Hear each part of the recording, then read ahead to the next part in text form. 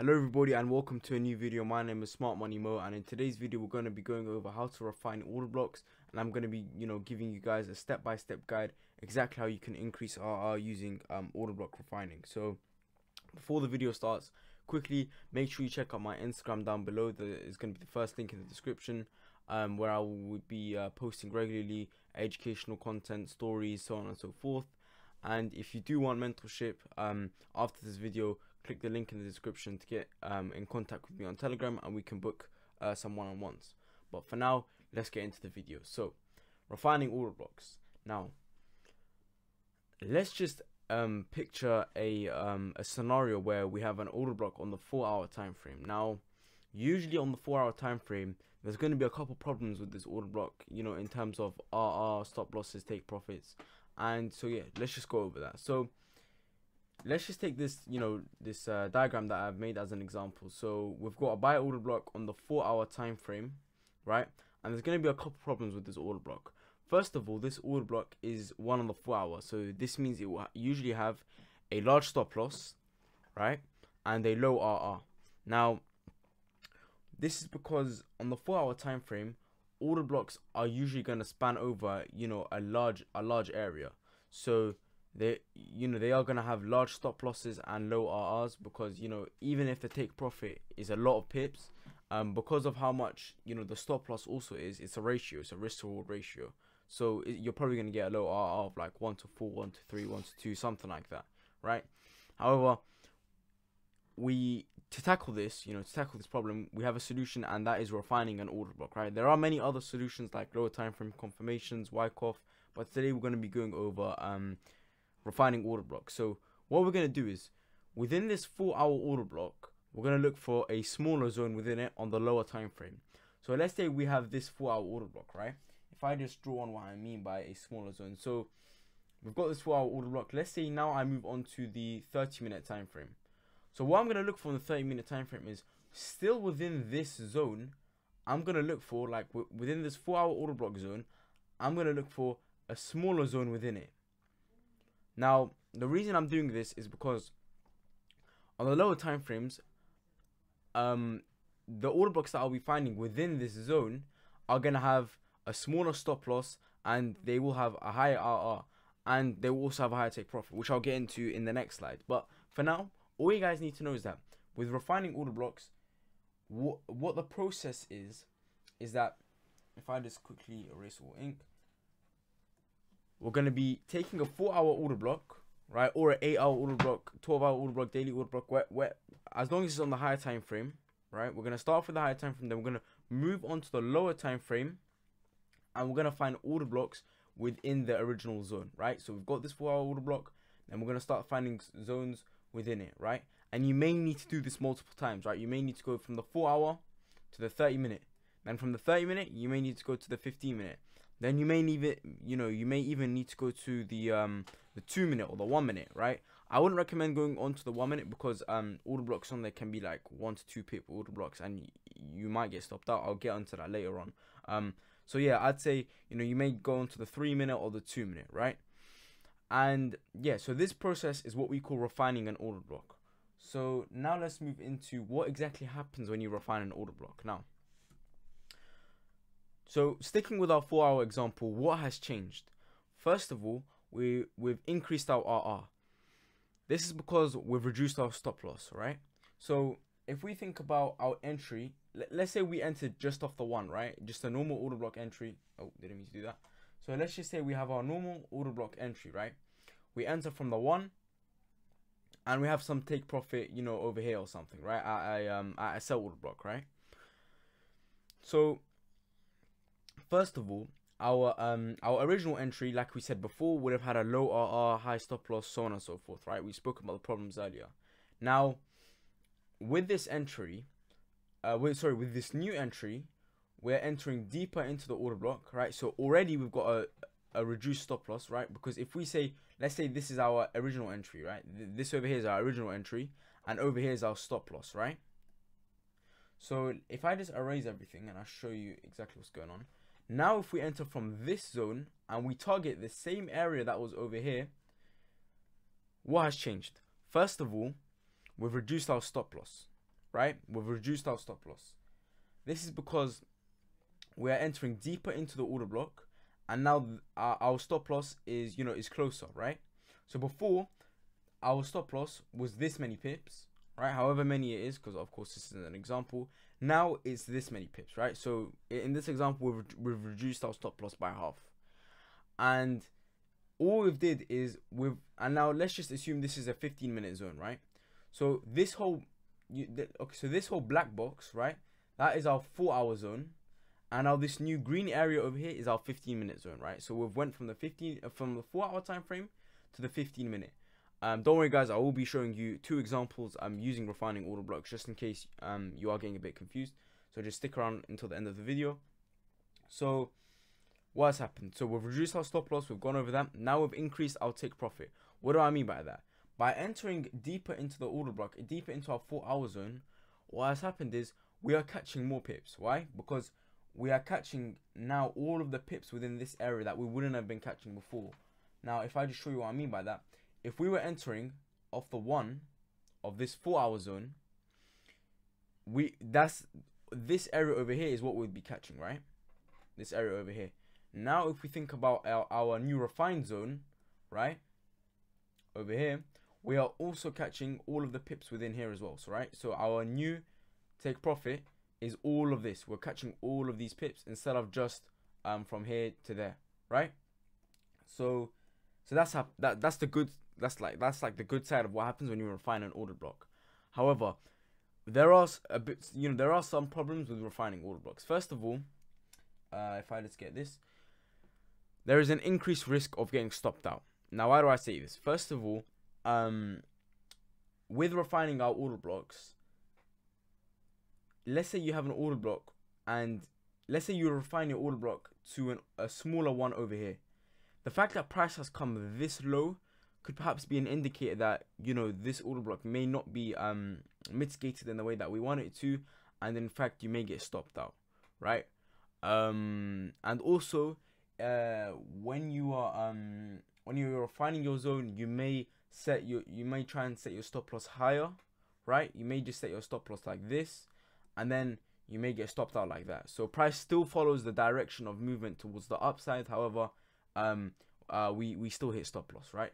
So I'm gonna I'm gonna show you guys how you can counter counter these problems when I got on when I get onto the uh, real life chart examples. Um, however, it's good to keep in mind um what exactly is happening when we you know refine an order block. So first of all, we have an increased risk of getting stopped out, and we also have an increased chance of missing the trade. Now, what I mean by that is price can very well mitigate this four hour order block and not tap into our lower time frame zone, right? We it, it could not um, it, it may, it perhaps maybe will not, you know, tap into our refined zone, right? And so, you know, we have an increased chance of missing uh, the trade because, like I said, price can just hit off the one of our four-hour order block instead of it um coming down and mitigating this um set uh this refined order block, right? So there is a chance of that happening still. Um, so now that we've gone through, you know, this chart um diagram example, we've gone through the problems, the solution, which is refining the order block. We've gone through what happens on the good side and what happens on the bad side. Now let's get into the real life chart examples and yeah, I'll see you guys there. Alright guys, so let's begin with this example that I've come up with on GBP AUD, right? So if we just begin with um, this one hour zone, so I did say on the we would start off on the four hour zone. However, with this example, I'm refining from the one hour zone how because we still have quite a large stop loss, right? So if I just you know create a bit of like a, of a backstory as to you know this order block. So on our overall trend is um we are clearly bearish, right? We're we're creating bearish structure. However, recently we've seen a push to the upside with you know with movements like this and like this, and you know we've seen a break of structure. So whenever we see a break of structure, right, we see a break of structure, there has to be an order block which created that, and we've got this order block right here. So inherently, I'm gonna try and trade this order block now. The problem with this order block is that first of all, the stop loss, right? Or the RR just in general. This one hour zone, despite it being on the one hour time frame, it's got a risk reward of so throughout this video I will just be targeting this um uh, area over here, right? So uh, the 0.5 of this order block over here. So So the problem with this order block is it has a 1 to 3 risk to reward ratio, which is a bit too low, and it's got a 23 pip stop loss, right? And you know, with with trading smart money concepts, you want to be aiming with at least, you know, at least minimum 1 to 6 and, you know, less than less than 20 pip stop losses, right? You want to be getting as you know, with smart money concepts, your main aim is to get high RR, um, low stop losses, while you know keeping a, a, a decent win rate. You know, your win rate doesn't have to be amazing. It's all about RR, RR over win rate all the time, right? So we've got one to three, and we've got a uh, 23 pip stop loss. So now what I'm gonna begin to do is show you the refining process, right? We're slowly gonna go down by 30 minute, 15 minute, 5 minute, 1 minute, and we're gonna just you know begin to refine this order block, and I'm gonna show you guys the changes that we'll see. So I'll just keep this here as a reminder as to you know what this order block once was so this entry once was from here 1 to 3 23 pip stop loss right and so we'll just keep that there uh, in, in reference uh, if I just put this here right so now let's begin with the refining process so what we can do is straight away we can just go on to the 45 uh, minute right do we see okay let me just uh, replay this um, now, do we see any new zones? No, we don't see any new zones. So what I'll just do is I'll move on to the next time frame, right? What I'm looking for is order blocks within the order block, right? So we've got this one hour zone. Now I'm looking for, so I'll just show you what I mean by that. So I've got this one hour zone. Now I'm going to start looking for order blocks within it, right? It has to be within this one hour zone. I'm going to start be on the lower time. I'm going to start looking for, you know, um, order blocks within it. So go on to 30 minute. Um, okay, so there is potentially an order block over here. However, I don't think this changes our RR by much. Um, so I'll just I'll just uh I'll, I'll leave it in for now, just to see um you know as comparison. So if we just bring our entry now, um, how much has it changed by? Not much, right? We've reduced the stop loss by a couple of pips. Not much of a change. Now, if I now, so what we're gonna do is we're just gonna move on to our lower time frame. Let's say the 20 minute, right? okay, so what we've done is we've identified an either uh, an, an even smaller zone, right? So if I just draw in this zone over here, and something that you need to notice, guys, is that I'm always bringing my stop loss back down to the zero, right? So if we think the order block uh, in terms of levels, we've got three levels. We've got the one, so this is where you would enter from, the 0.5 and the zero, right? and I will always be bringing my stop loss back down to the zero of the order block, right? Because this will maximize my chances of not getting stopped out. So remember how we said that there was a, um, with refining a, a, your order blocks, there's a problem of getting stopped out, right? So to counteract this, we can always bring our stop loss down to the zero. So even if I'm entering from over here, right? Let's say this is my new entry. I'll always keep my stop loss back down to the zero.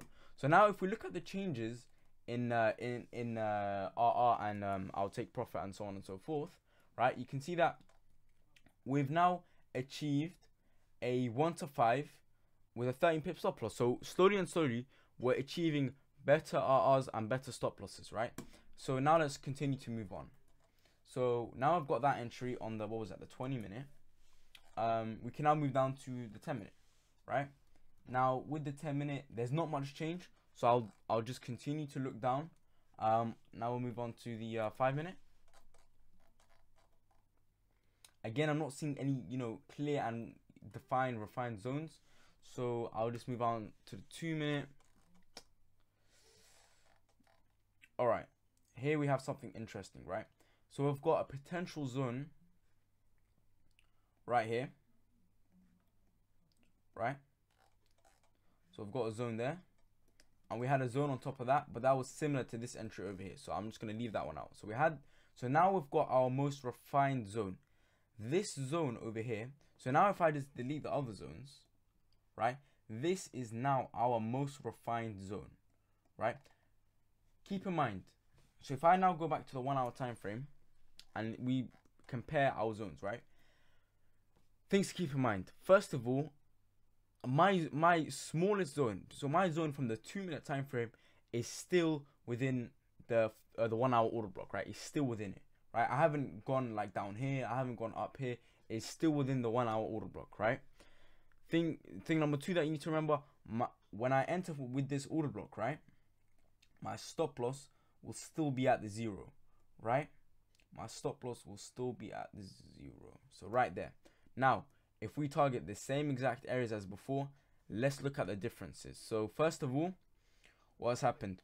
We went from a 1 to 2 risk to reward and a 23 pip stop loss to a 1 to 17 risk to reward with a 4 pip stop loss. So you can see the changes, you know, are, are, are quite amazing here, right? So, and also 83 pip take profit, 64 pip take profit, right? That's, you know, what is that? That's almost 20 pips, right? So you can see the amount of changes that we can create by simply just refining the order block, working our way down the time frames and finding smaller zones within this zone, right? And if I show you, if I show you guys um, the results of the trade, get tapped in, we, we hit take profit, right? And you can clearly see the difference in what would have happened, right? I still would have hit take profit and, you know, got an entry if I used the old zone. However, with smart money concepts, the most important thing that we're trying to achieve is a high RR and a small stop loss. It, it's the idea of low risks trading, right? We're you know, we're going we're going for those high RRs. You know, we're achieving 1 to 17, 5 pip stop losses, 4 pip stop losses, uh, and we're going from 1 to 2 to 1 to 17, right? And that is what re refining an order block can do. So now we've gone through example 1. I'll go through another example to finalize everything, and I'll see you guys in that example. Alright guys, so now let's begin with this example that I have um I've got on NZD CAD, right? So now right now we're on a on a higher time frame, right? And I've spotted with NZD CAD, um, our time frame, our high time frame bias, you know, we're moving uh, a little bit um in a range, right? We're we're recently we're respecting um um a bearish structure. However, we've also seen um, a change of character, right? We've seen a break of structure, and so with this comes opportunities, right? So what I'm gonna do is I'm gonna start on the high time frame, right? We'll start on the 12 hour time frame, and then like I said, we'll work our way down. So first of all, uh, we've got this 12 hour zone, right?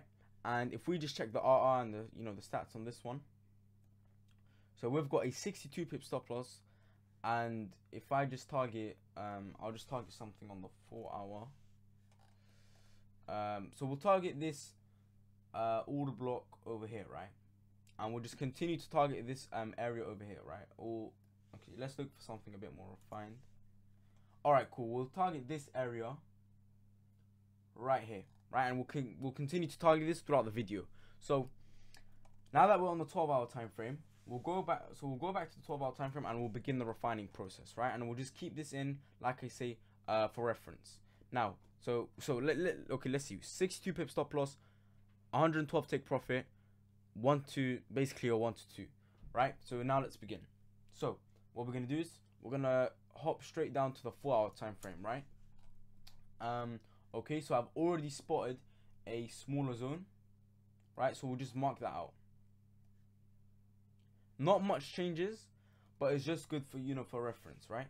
And now we'll move down to the two-hour time frame. Not much change, so like I say, just go down to the smaller time frames, right? We'll, we'll now go down to the one-hour time frame. All right, cool. I can see another order block. So we've got this order block, and like I say, I'll drag the stop loss back down to the zero right? And so now we've, we've created change. So we'll delete the old one and now we have this new refined zone, right? And we'll just continue to do this 30 minute. I haven't seen much change, so I'll go back down to the 15 minute, right? Again, we're still right now we're still within this zone, right? We haven't seen much change. You know, there is an order block here, but you know that would just increase our stop loss. So I would I don't see why we would go to that zone. So we'll just go down to the 10 minute. Um, not much here either. Potentially a zone within this area. Um, we'll just go down to the uh, 5 minute. And because this order block is on the um, the 12 hour time frame, I'd probably stop on the 5 minute. Right, so here we go. Here is our refined zone, right? And what else I like about the zone is that the fact it's right above this small area of of liquidity, right? We've got this area of liquidity, right? Um, I'll just draw that out as a small uh, area of liquidity. right? So we've got this small area of liquidity, right?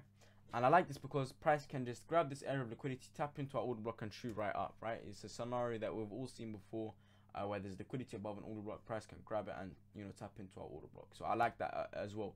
So now we've got this refined five minute zone and let's do the comparisons. So if I'll just go to the one hour time frame, drag this over to the right. Now let's see the comparison, right? So we'll target the same exact areas as before. So I actually go on to the four hour, right? So now we've got our five minute zone and now we're just going to compare it. So now what do we see? Okay, now if we target the same exact area, we've now achieved the stop uh, take profit of one 150 or 160 pips, right? We've got a, um, a risk reward of 1 to 11 and a stop loss of 13 pips, right? So we've been able to change this from a 1 to 2 to a 1 to 11. 62 pip stop loss to a 13 pip stop loss. 112 pips take profit to now 160 pips, right? And that is just the power of refining order blocks. And I'll show you guys the results of this one as well. I'll just play this. Right, price taps in, hits take profit, right? We could have even been a bit more ambitious to take profit. However, uh, we like to stay safe. So that is the process of refining order blocks. Hope you guys enjoyed this video. Hope you found it educational. Make sure you check out the Instagram. And if you want to, uh, DM me on Telegram for uh, mentorship. And I'll see you guys in the next one.